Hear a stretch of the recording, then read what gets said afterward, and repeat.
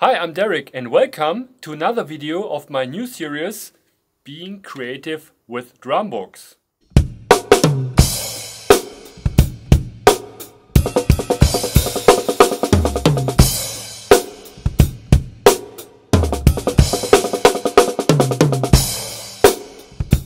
And today I want to share an idea with you which is again from the great John Riley from the book The Jazz Drummers Workshop.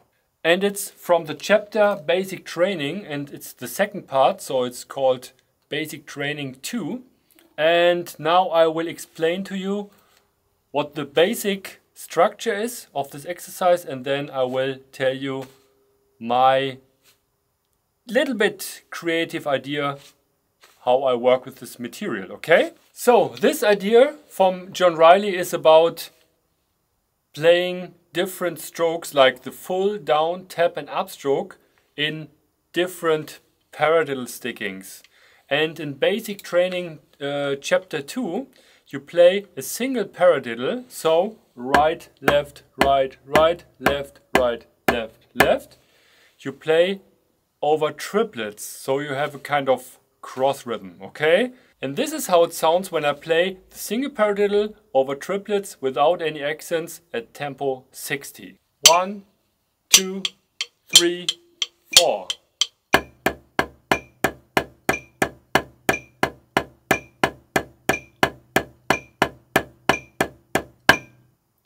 Again, one, two, three, four.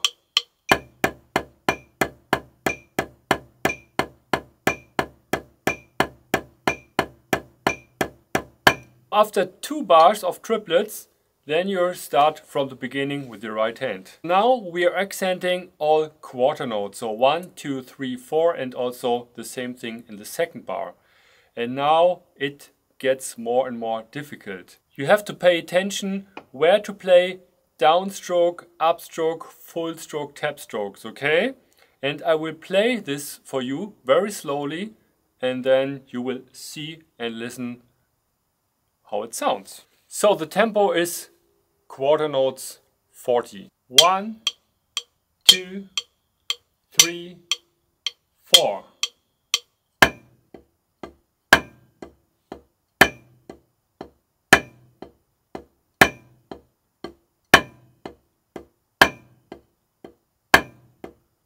One.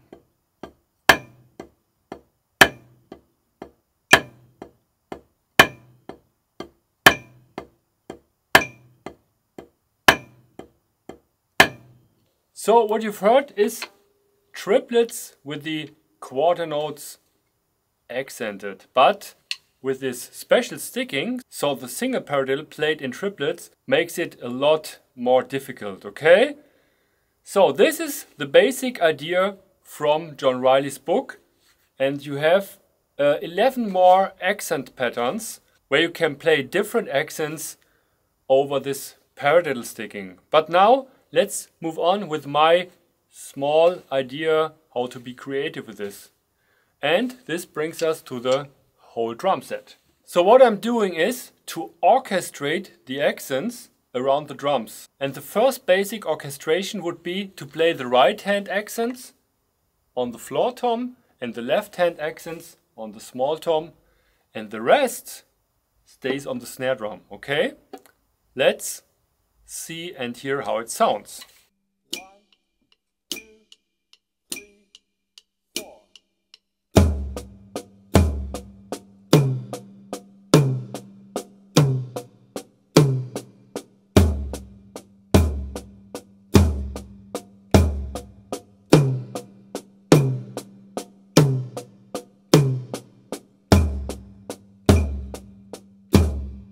So let's speed it up and play it at tempo 120 beats.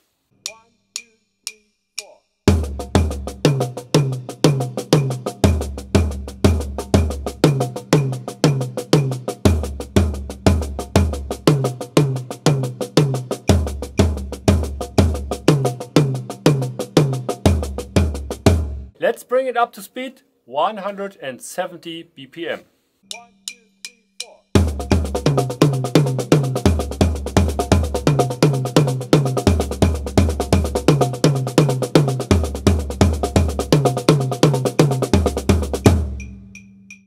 This is, in my opinion, very difficult, but it will train your reflexes, okay?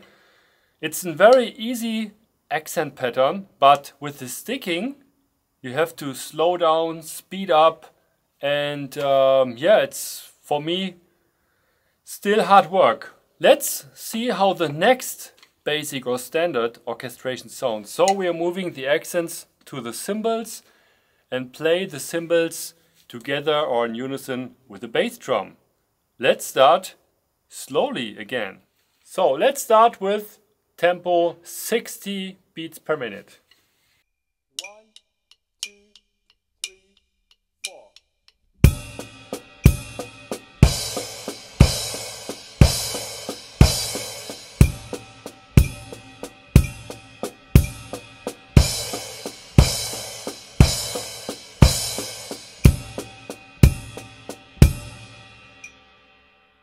Course, the next step would be speed this orchestration up or increase the tempo, okay? When you can play both orchestrations, start to come up with your own, I say in the beginning, fix orchestrations. For example, you play all the accents played with the right hand here on the right cymbal and maybe the left hand accents here on the small tom or on the snare drum and then be creative orchestrating the accents around the drum set. But now I will show you the last step and the last step is to improvise.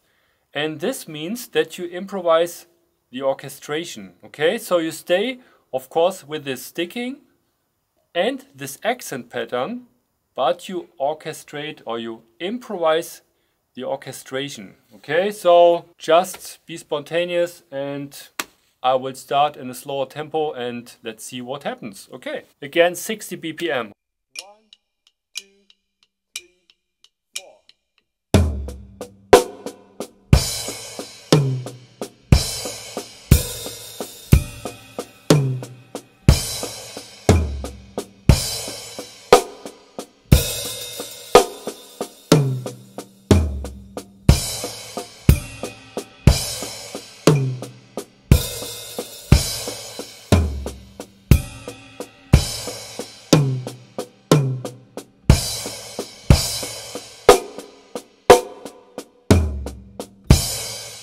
Try 100 BPM.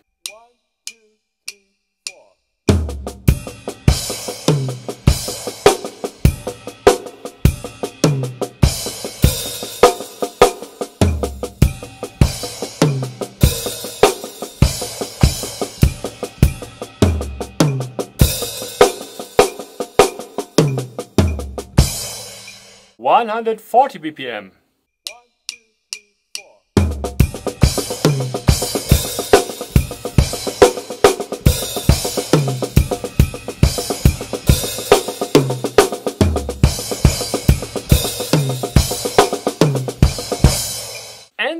On on. The sky is the limit, of course, okay?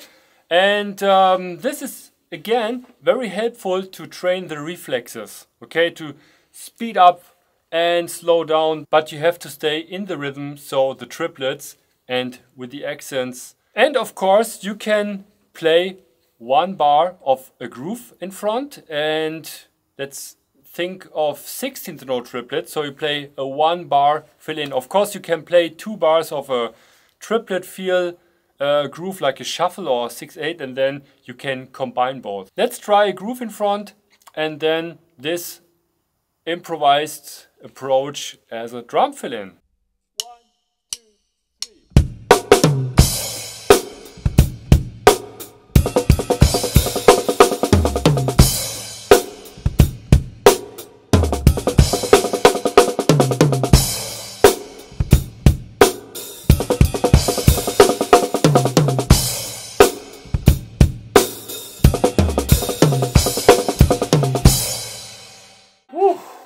So you've heard it, I'm still working on this material. And this brings me to the other new YouTube series I'm doing here is work in progress. So I'm sharing ideas with this drum book, uh, creative drum book exercises and just share them with you and that you have also uh, some ideas how you can work with different materials. Come up with your own combinations of methods or your own rhythms and what you've heard and here and there. And then you're creating your own exercises. So let me know what you think about this application or orchestration, this exercise.